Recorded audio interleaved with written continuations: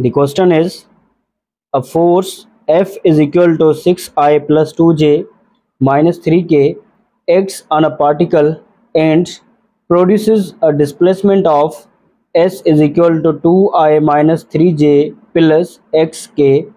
If the work done is 0, the value of x is A minus 2, B 1 upon 2, C 6, D 2 is work done means work is equal to F dot displacement. Work is the dot product of force and displacement. According to condition, work done is 0. Is work done is 0. So 0 will be equal to as force is obtained in terms of unit vectors is 6i plus 2j minus 3k dot. Displacement means we can also write it as f dot s vector. So displacement is obtained as 2i minus 3j plus xk so 0 will be equal to as we will multiply the value of i with i and the value of j with j and the value of k with k.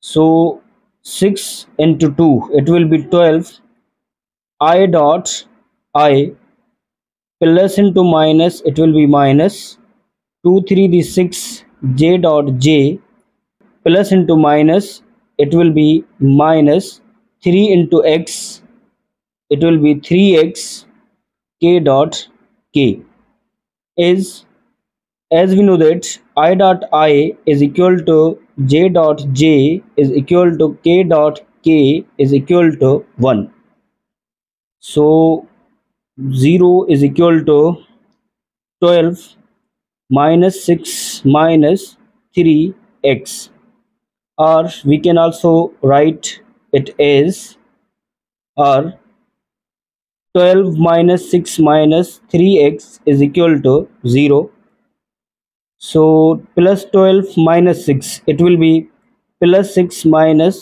3x is equal to 0 so minus 3x is equal to minus 6 so x will be equal to minus 6 upon minus 3 minus will be get cancelled with minus. The table of 3 on 3 is 1 times and on 6 is 2 times.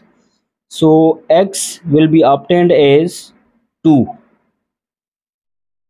so the correct option will be d 2